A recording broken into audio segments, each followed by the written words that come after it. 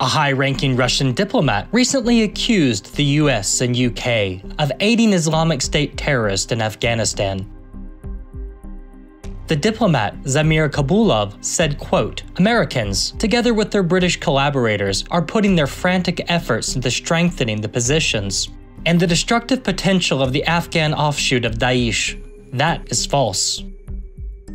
Kabulov ignores the history of combat between the US and Islamic State in Afghanistan, where it is known as ISIS K. ISIS K has attacked US and NATO forces, Afghan politicians, security forces, and civilians, especially religious minorities.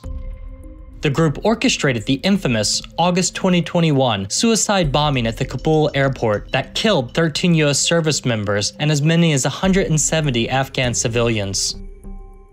The US has killed several ISIS K leaders in drone strikes. In 2017, the US dropped the Moab, mother of all bombs, on an ISIS K cave complex, reportedly killing dozens of militants. Despite pulling out of Afghanistan, the US and UK have vowed to continue targeting ISIS K. The US military considered working with Afghanistan's Taliban rulers, who also oppose ISIS K, to combat the group.